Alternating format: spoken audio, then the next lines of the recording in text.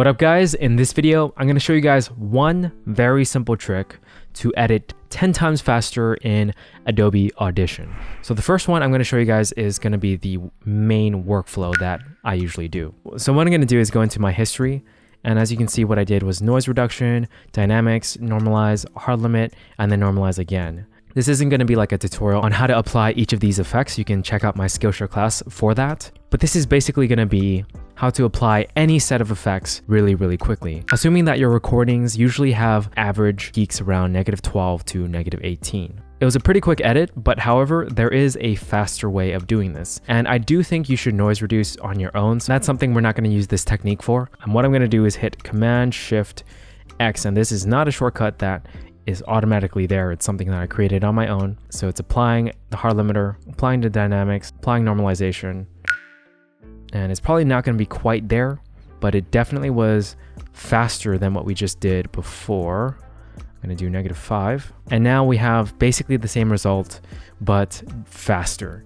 And how exactly did I do that? Let's go to the history again to see what happened.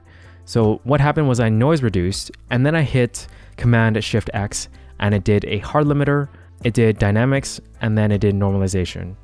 And basically I did hard limiter and normalize again. But the way I did this is I created a favorites to contain these three actions right here, which is hard limiter, dynamics, and normalization.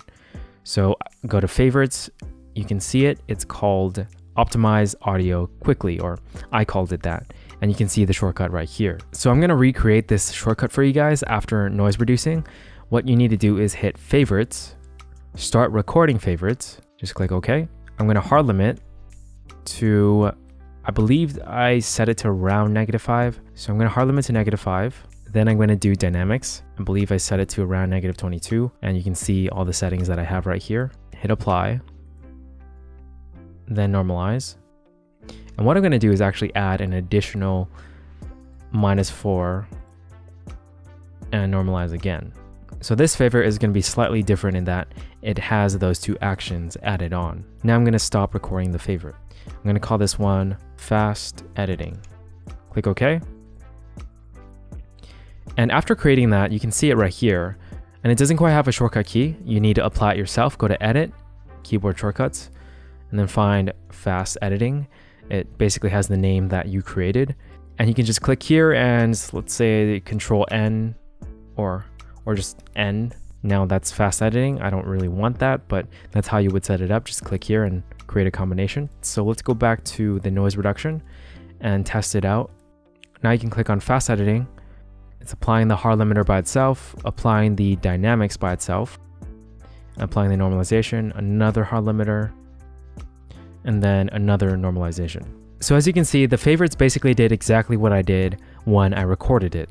And that's just a really fast way of editing um, if your levels are generally the same between different recordings. And if you did want to change like a certain level, you can just go to edit favorites, find your favorite, fast editing. And if you click twice on it, you can change the exact setting that you want. Let's say I wanted negative four instead, and then save it. So just double click on any effects that you wanted to change, save, and basically it'll save for you.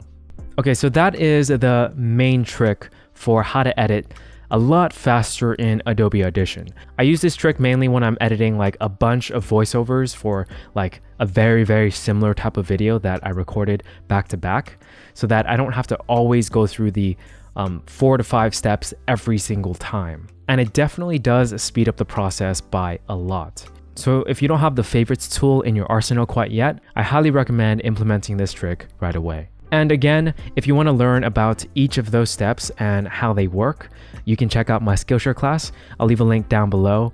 And if you use my link, it'll be 30 days free, so you can just watch through the class and unsubscribe if you don't want to continue with Skillshare. Regardless though, if you have your own way of doing things, you can always stack these effects back to back, like adding a certain EQ and adding the standard stuff like compression and normalization. So it doesn't have to be these exact effects. It can be any workflow that you want, as long as your starting point is a similar audio level. Alright guys, that's it for this video. I hope you enjoyed it. If you did, consider giving the video a like and subscribing. Feel free to leave any questions down below in the comments and I'll see you guys in the next video.